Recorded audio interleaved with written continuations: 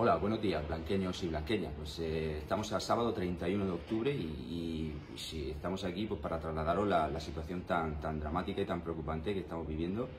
con la pandemia. Hoy nos hemos levantado con 35 casos, con 7 casos más que ayer y, la tendencia va a ser esa.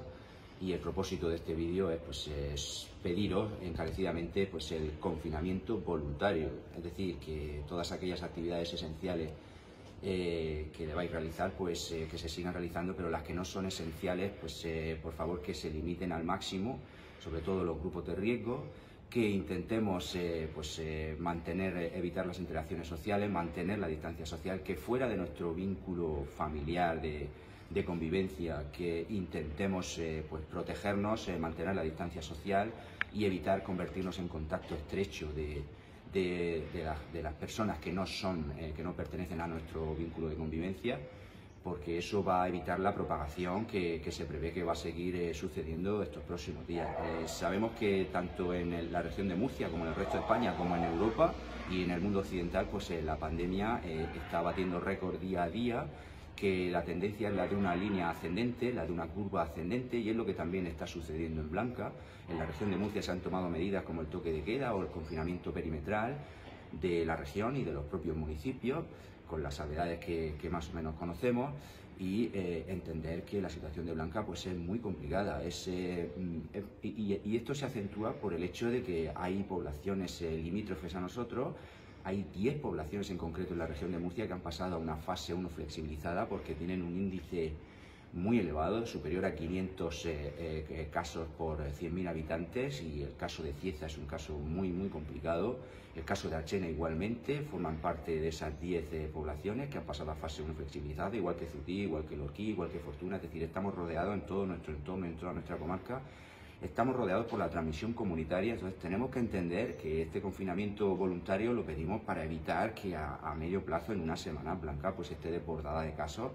que, puede suceder si no nos tomamos muy, muy en serio eh, este asunto y eso pues va a derivar en que la presión asistencial en los hospitales sea tan elevada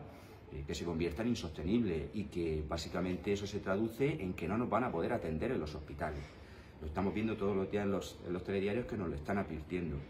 Eh, es importante estas recomendaciones que hacemos desde todas las instituciones y en, mi caso particular, el ayuntamiento, pues tenemos que sumarnos a ello.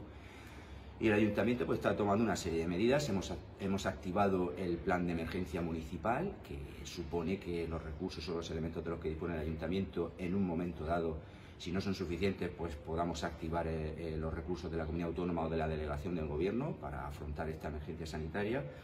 Eh, por otro lado, sabemos que el centro de salud pues, está en nivel rojo por una tasa muy elevada de contagios en Blanca, de acuerdo en proporción a la población del municipio, de 6.500 habitantes, y eso supone el centro de salud de la estación continúa abierto, sabemos que el de la olla del campo no lo está, y otros muchos de la región de Murcia no están, pero el centro eh, de, atención médica de la estación y el de Blanca pues van a seguir atendiendo, pero de forma telefónica y con cita previa y solamente a las, eh, a las urgencias. Eh, ¿Por qué? Pues para protegernos, básicamente para protegernos porque, repito, la situación está derivando en, un punto, a un punto muy crítico, muy álgido y muy delicado que tenemos que tomarlo muy, muy en serio. Eh, y otra cuestión que desde el ayuntamiento queremos eh, trasladar es que vamos a ser contundentes con las sanciones, es decir, sabemos que la gran mayoría cumple con, las normas, con responsablemente, con la disciplina social, pero sabemos también, somos conscientes que hay una minoría que no lo hace y eh, pues actuaremos en consecuencia y de manera contundente porque no podemos permitir que la situación se convierta en algo dramático para las vidas y para, la salud en general de nuestro municipio y de nuestro entorno. Eh, solamente para, terminar, pues eh, recordarles lo que les acabo de comentar, la importancia de ese confinamiento voluntario, la importancia de cumplir las normas, de eh, evitar las interacciones sociales innecesarias, sobre todo los grupos de riesgo, la importancia de no convertirnos en contactos estrechos de otras personas que no sean de nuestro vínculo familiar, de evitar las actividades que no sean esenciales y entender que este otoño y este invierno van a ser muy duros, van a ser muy duros eh, y depende de nosotros y depende, depende de muchas circunstancias, pero de nosotros personalmente también de la disciplina social que mantengamos. Y, simplemente me, gustaría acabar también con un mensaje de esperanza porque, porque hay consenso, como ya hemos dicho en otras ocasiones, de que hay consenso científico y epidemiológico de que para la primavera pues la situación estará más estabilizada, habrán tratamientos, habrá, habrá vacunas y para el verano pues será todo mucho más normalizado y esperemos y confiemos en que así sea, con lo cual tenemos ahí un,